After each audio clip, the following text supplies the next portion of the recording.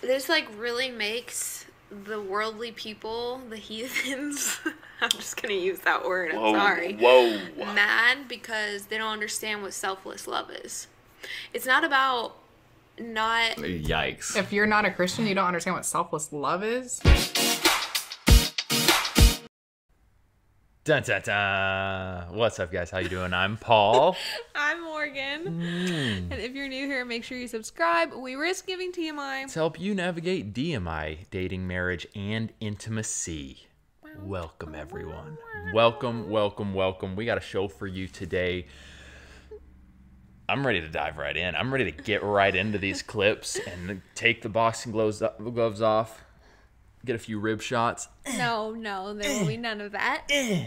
We will not be punching anyone. No, no, it's totally figurative. It's totally figurative. I think actually there will be some very good discussion to come out of this video, and we already learned something because I put in the thumbnail of today's video. Um, what was it like? Why can I never remember how I like title Never. and label You stuff? You know I did. I did valid pushback question mark. I'm being sincere there. Um, We already have received something from this channel. We lifted our microphone because we noticed that their mic was lifted and I didn't even barely notice. So we're gonna lift ours up and just see how it does Yeah. a little higher. If it makes our voices even more. Mwah. Anyway, and Morgan. it's a little off center because I talk quieter than Paul, so. yes, but great to be back with you guys. All right, let's dive right in. What do you got for us, Morgan? Guys, guys, guys, guys, guys, guys, guys, guys. You know that we love to talk about sex and intimacy at TMI, Navigate DMI, Dating Marriage Intimacy. Well, we created a 15 page PDF downloadable digital file. 80.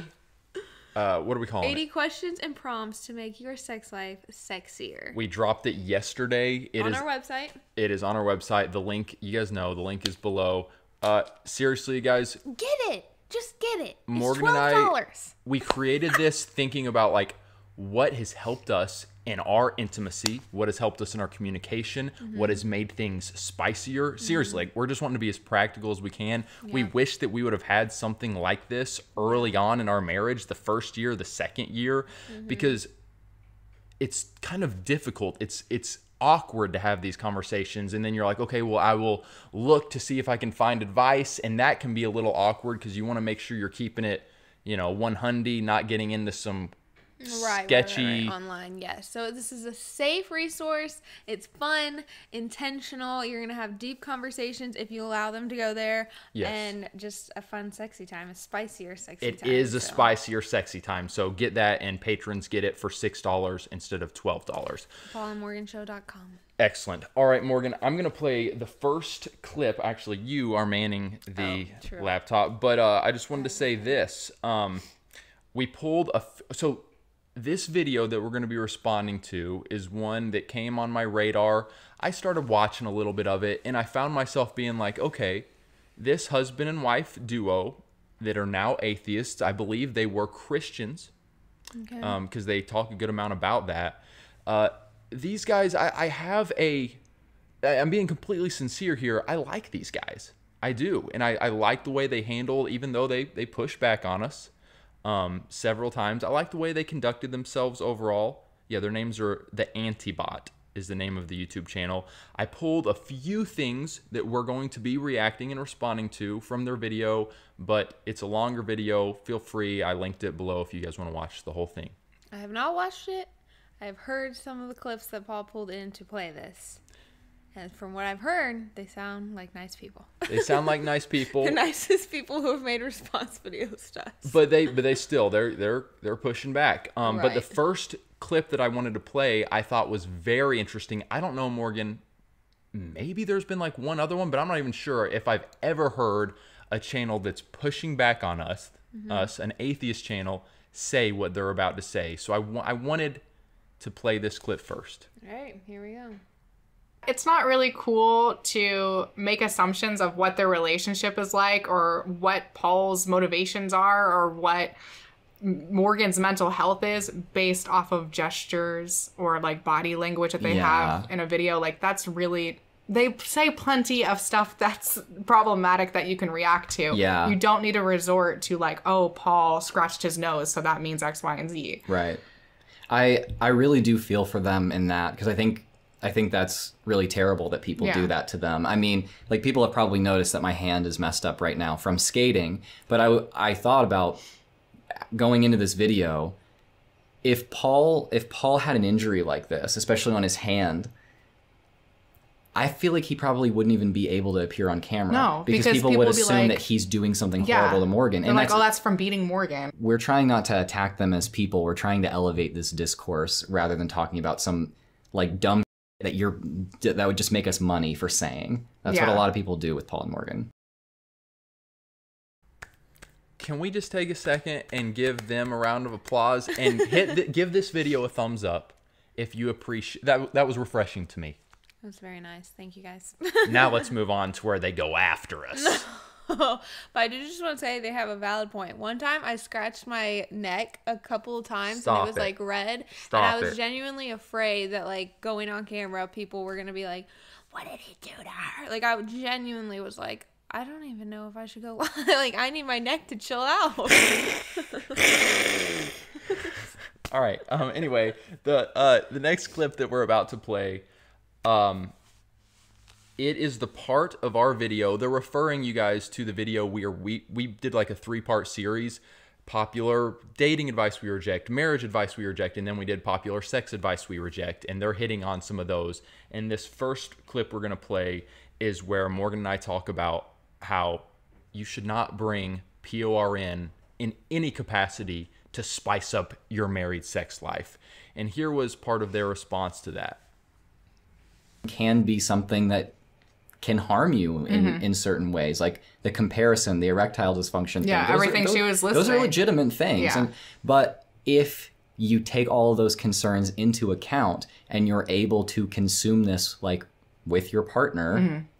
then I don't think there's anything wrong with that. It's, Because it's it can get you in the mood and it can help your sex life, Yeah. like you're together, to incorporate that, like as long as you understand, like you're saying, that it's Yeah. like a fantasy. it's person to person. Obviously, you want to like collaborate with your partner and make sure that you're watching something that both of you enjoy, that gets mm-hmm. both of you in the mood, that like works for both of you, not just It's one. not pushing the boundaries of your partner or something Yeah. they would not be comfortable with. Right. But if you take all of that into account, I think that watching some kind of sexually explicit or even just suggestive material can be good for your sex life. It's, Yeah. It's just, it's more complicated than you should totally watch it or you shouldn't at all. Yeah, it's not black and white. Yeah. There's, yeah.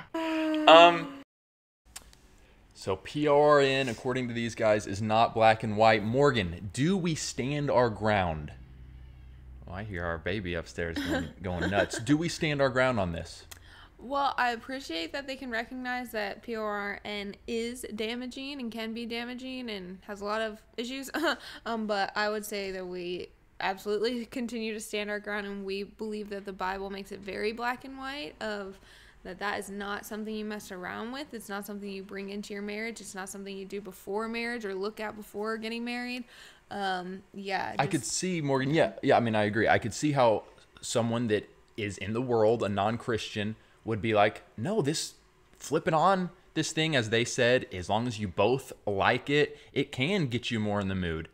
Guys, we need to look no further than the Word of God as believers. Mm-hmm. Jesus said, "If you look at a man or woman to lust after them." You've committed adultery in your heart. Mm-hmm. If you're watching PRN, what are you doing? Even if you're about to get it on with your spouse, mm-hmm. what are you watching? Right. Like, is that not?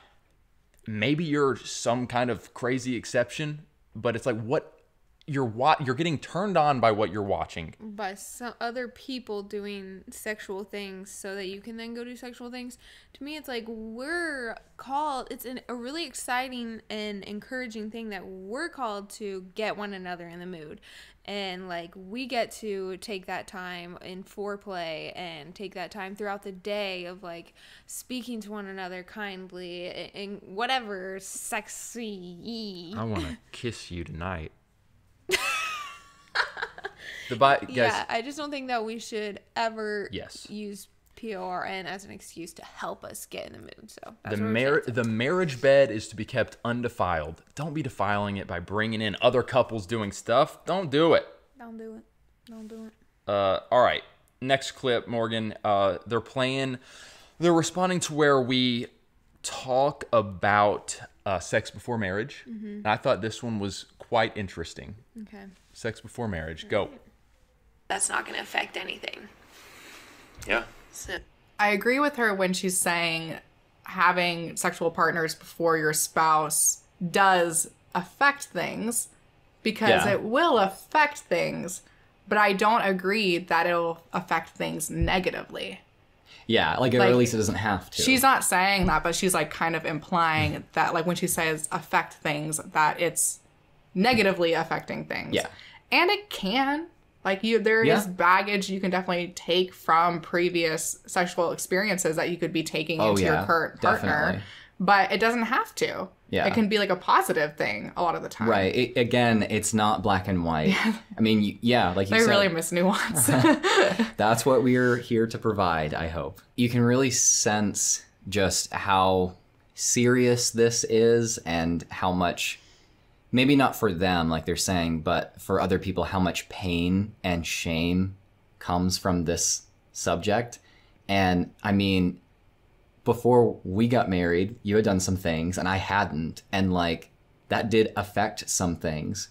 But after we left Christianity, it didn't it like all of that completely evaporated. Yeah. I mean, it didn't really cause a real problem, but it was a somewhat sensitive it subject. was more like the shame of it. Right. It, the the shame of it, yeah, was really the thing that weighed on us, not not anything actually bad. Not the Nothing bad happened. Yeah. Yeah. And that's the thing is that when you stop feeling ashamed about it, nothing bad happens. It's Yeah. all good. The Yeah. only reason that they experience or other people might be experiencing negative consequences a lot of the time is because it's like the shame they're Yeah. experiencing, like the shame that they're feeling. Right. It's not because anything bad's actually happening. it's a self-fulfilling prophecy. Yeah. Like we're going to feel bad if we do this and, and it's going to affect our marriage. And so they do things and then they feel horrible about it and then it affects their marriage because they feel so bad about it. yeah. no. Interesting. I want to hear your thoughts on this. I have a lot to say. If my mom, but if my mother brain can work, I so it's interesting hearing them talk about like the ashamed feeling. Like you shouldn't feel ashamed, and we only feel ashamed because we kind of like self prophesy over ourselves of this is bad, so I'm gonna feel bad about it.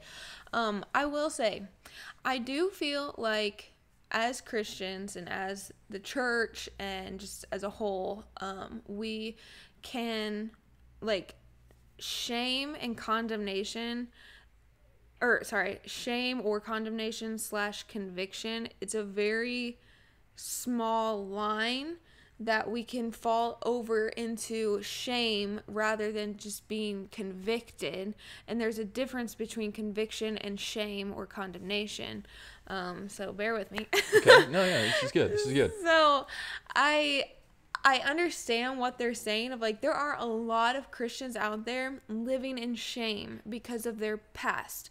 Um, whether it was sexual stuff or totally something else. Um, even when they like know that they're forgiven by God, like it's sometimes it's really hard to walk in that forgiveness or what does that con- forgiveness look like?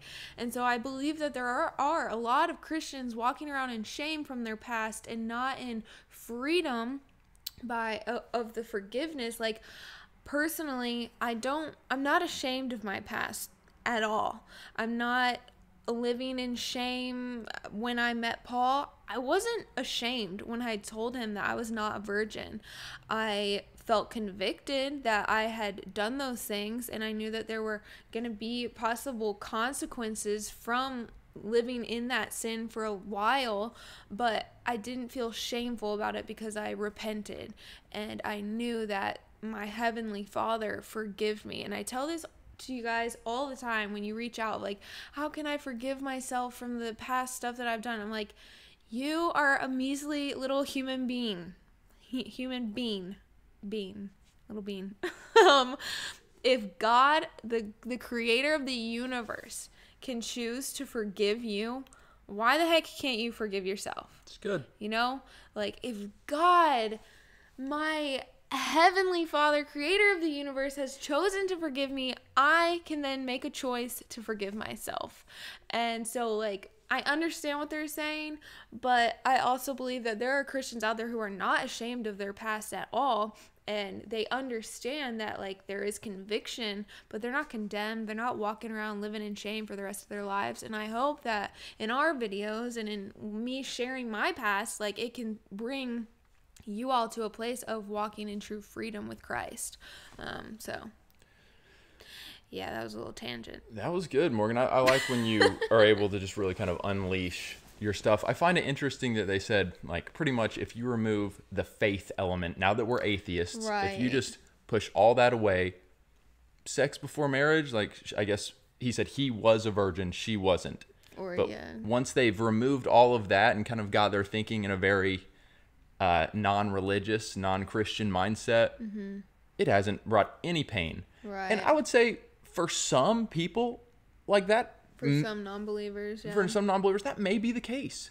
Um, but I, let's be real though, for many non-believers, that's not the case. And I'm talking Right. non-believers here. yeah. Non-believers, you still are up in your head struggling with comparison, whether it's the guy or the girl, one more than the other, thinking about, oh, this person's been with 10 other people. Jealousy, yeah, comparison. there can all, be all a this crap. yes let's not act like that's maybe the norm i don't know what the statistics show Yeah. um but man there can be a lot of of baggage and pain brought into it but then outside of that whether you're on the side of oh i'm totally fine Yeah. It doesn't affect me that you've slept with 20 yeah people before us. or or you've been the one that slept with several a, a lot of Or people that I've slept, yeah, with Yeah, 20 people. But despite all that, as Christians, I, I just love I love the simplicity of this. Are we going to be obedient to what the Bible says or not? That really, I, I love that. Mm-hmm. Oh, we can we can almost just like all this other stuff. That stuff is fine. Are we going to be obedient? Mm-hmm. The Apostle Paul, over and over again, he's talking about keeping the marriage bed holy. I already said that. Fleeing sexual immorality. Read. I'm reading through Proverbs right now. I'm just like almost amazed I'm reading through Proverbs. get out of town. Over and over again. get away from the adulterous woman. Don't go down those streets. Is your life really going to be reduced down to a loaf of bread? Her house leads to death, death, death, death. Why are we? And I know that I guess this is more fornication, mm-hmm. sex before marriage, but like, man, don't make light of this stuff, Christians. Yeah. And again, it's it's conviction, it's not condemnation. And yes, that is a very easy line to cross into. It and I believe that the enemy wants us to live in shame. And how, uh, you better believe, and they're going to talk about the enemy in a bit, right? next clip. yeah, clip. okay. Um, but you better believe that the enemy does not want you living in the freedom that Christ offers. And so, yeah, shame is a hard thing to get rid of. Play that next clip. Clip number four. Do you need to tell them what it's about? Or... Um, Morgan has just said that when you're she Morgan, what was the quote? You shared this on your Instagram and you referred to it in this video. just of the podcaster Mm-hmm. yeah just saying the this guy was just saying like the devil when you're dating is like take your clothes off take your clothes off take your clothes off but when you're married he's like keep your clothes on keep your clothes on yeah so It's, it's kind of a catchy thing, but there's validity to it, or at least we thought there was. Let's see what the antibot has to say. That's a scary sight to see from the enemy. So I don't think it's the enemy that you know before you're married convinces you that you need to take your clothes off and like you have to be having sex and like makes it so tempting it's because when you're told not to do something so much it kind of makes you want to do it more Yeah, it's the belief system itself that's causing that not necessarily like the devil I mean, when there are natural factors sufficient to explain why single people want to have sex and why married people might want to have less sex, why do we have to say that there is a guy that's doing it? A secret, invisible guy that is influencing you without your knowledge. It's like that's an it's an extremely superstitious way of thinking about Yeah. it. And if any other religion did that, they would think that oh, that's just ridiculous. Why can't we just explain it by the fact that studies show that men's testosterone tends to go down when they're in a long-term relationship, and so they therefore they want to have sex less. It's like Yeah. And it's also when you're a young Christian person and you're told, you know, you're pushed purity culture, you're told not to have sex, that only makes you want to have sex more, you Yeah. know? And then when you are finally married and you're free to have sex, then it's not what's the term? It's as enticing, maybe. it's not like the forbidden fruit anymore. Yeah. Ooh, there's a good biblical term. Oh, uh, very interesting. a shout out to, uh, it looks like in the live chat right now, genetically modified skeptic, who is the husband in this scenario, is uh, he's here. Welcome, welcome, welcome. Seriously, fun having you here, Morgan. Yeah. Um, do you stand by that statement that they were pushing back on? When you're single, Satan is trying to get you to take your clothes off. When you're married, he's trying to get you to keep them on. Um, well, yes, I do still stand by that, but you know, I I want to make it clear. I don't think that the enemy is always is the reason that we fall into sin. It's just our human nature. It's um yeah, we do want the forbidden fruit and that's our flesh. Um The forbidden fruit, it makes you toot. The more you toot, the better you feel. what? That's what am I in fifth grade? yes. Um, but I, you know, God made this beautiful thing where a man and a woman, when you get close, um, whether it's just in in a relationship, dating relationship, whatever, like you start having these desires to be physically close. Morgan, can I just say real quick? Keep keep remembering where you're about to go. You, I do want to make it clear though. We do believe that there is a very real enemy that Yeah. is trying to make us fall. Oh yeah. So it's like that's where we'd push back on them, the antibot, um, by saying like the devil is prowling around like a roaring lion, lion seeking who he may devour. Like that's just scripture. That's biblical. So we would be very naive to just throw all of that out and be like, oh no, we agree with them. Like again, that's a very humanistic mindset. We're we're people of the word, Right. but we also don't want to go so far as to say the enemy is trying. The enemy's. Why have you given me your toughest battles? The enemy, Right. the enemy, the enemy. When it's we're doing it to ourselves many right. times. It's like we're putting ourselves in situations that, yeah, these uh, desires are going to be stirred up within us and don't arouse love until it's so time. And so, Ecclesiastes, Songs of Solomon. yeah. and so, yeah, I think, you know, just being smart, using wisdom and discernment so that we don't fall into temptation. But a lot of the time, the reason we're falling into temptation is because of us, not the enemy. So, yeah. Um, but yes, let's not be naive as well to the enemy.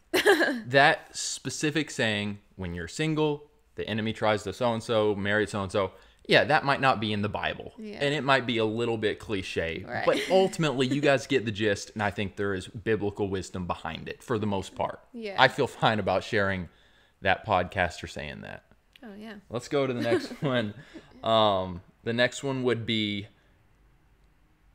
clip number five.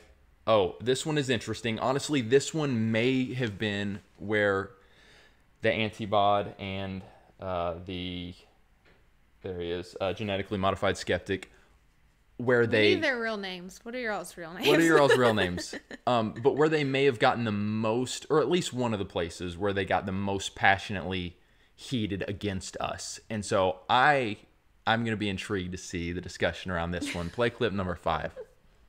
You are also not entitled to sex from your partner. Sex is not a mandatory part of a relationship at all. That's one of the nicer comments for sure. So, you know, this like really makes the worldly people, the heathens, I'm just going to use that word, I'm sorry. Whoa. Mad because they don't understand what selfless love is.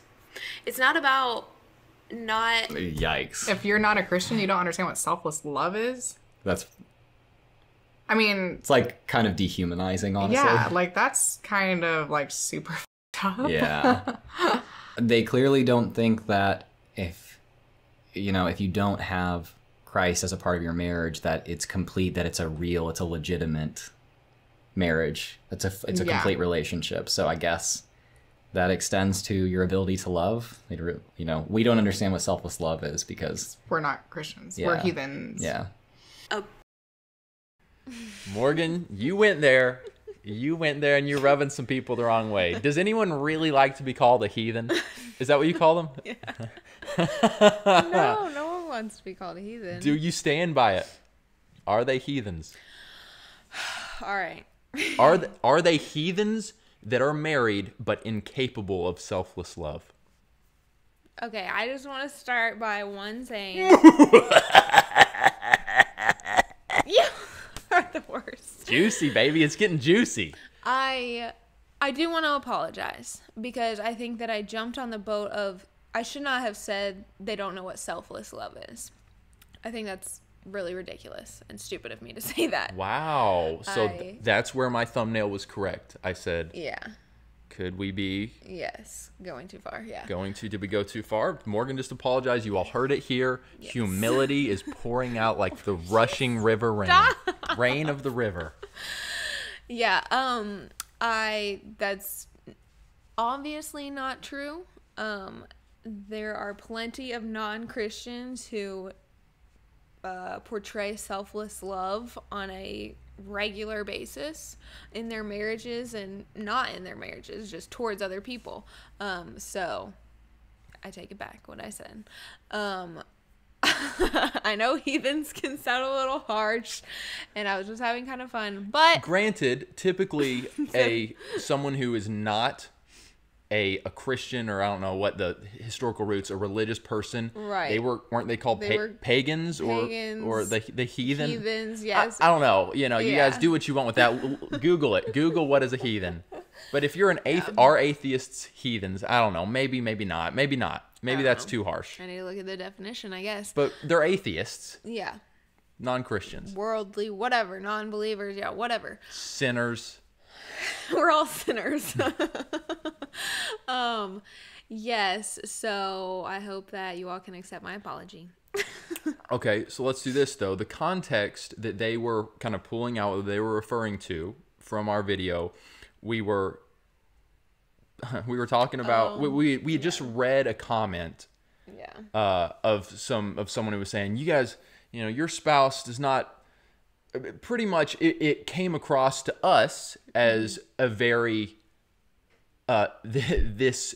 It, it wasn't so much like we're we're targeting them or we're targeting a person, but the idea of where culture seems to have arrived when it comes to married marriage and sex, Right. and so that's what I think more of Morgan where you were coming from. Yeah, of like this, the whole like the world's idea of love, self love is so pushed, and like if anyone asks you to do anything that makes you even like a little bit uncomfortable, or, or Yeah. not even just uncomfortable, but just like you don't feel like doing that, then screw them. And, Oh, it's gonna mess.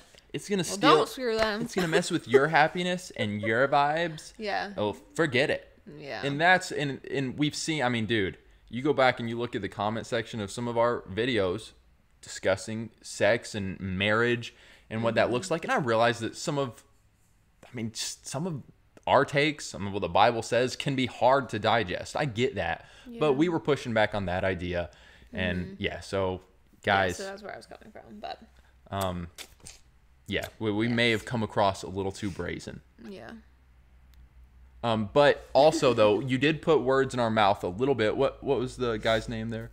Drew and Drew. Taylor. Drew and Taylor. What's up, you guys? Say hey to Drew and Taylor. give give this video a thumbs up. Uh, sh- show Does nothing for them, but some everything love, for us. some love to us. That in return to Drew, but no, Drew did take a little bit of of the words, put words in our mouth when he said. So I guess they don't recognize a non-Christian marriage as a real marriage. Oh, we Oh, definitely Yeah, do. Yeah, no, that's marriage Praise the Lord. Even non-Christians, between a man and a woman. even non-Christians getting married, we, we we're grateful for that. Marriage Oh, yeah. Mm-hmm. is a good thing. I feel like no matter what. And yeah, I mean, whether non-believers want to acknowledge it, it is still like a representation So ha! of Jesus and the bride, his bride. And so, yeah. Yeah. Win-win. Win-win. But ultimately, we could have probably worded that better. Yeah. Love it. We like these dialogues. I'm, I, I genuinely am grateful for these. I felt like this one was profitable. Uh, you guys comment below in the comment section though. Where do you fall Uh, we, we hit on several things. Mm-hmm. Um, just let us know. Let us know where you fall. Let's keep the dialogue going. Uh, the anti Drew and Taylor. Taylor, if you guys want to hop in the comments after this video, it would be fun to keep the dialogue going. Guys, make sure that if you are in a place, maybe newlyweds, um, or you've been married for 10 years and you're just like, I think there could be more with our sex life. Like, I think there's a lot of room to grow in this area. Just click the link below, grab this ebook. We really hope that it blesses you guys. I think it will. I, I genuinely think this ebook could really be a good thing for your love life. Like, we sure hope it will. I think so. I'm confident it will. I think you will at least have one good time. Is one great sex session worth twelve dollars Absolutely. or six dollars if you're a patron? No, I think I think thousand percent yes. I think it could be a game changer for years. One time, please. oh yeah, you have way more fun. I'm just saying, I, I don't want to build it up too much. I can feel confident about what. That is starting the bar low. that is really low. All right, guys, we love you very much. We'll be right back with those in the live chat. Be blessed. Have hope. and be free. Hey guys, as you may have noticed, we get very few brand deals. A big reason for that is because we make unashamedly Christian content. We've had brand deals taken away from us because people who don't like us reach out to them and demand that they cancel us. Due to the fact that we stand on what the Bible says and we don't conform to culture. Which is why our patrons, the names you see here, are so important. You guys really are the lifeblood of this ministry. We could not do it without you all. If you guys believe in this content and you want to partner with us on Patreon, go to patreon.com slash Paul and Morgan Show or click the link in the description. Go, Go team. team. That was the one. That was the one.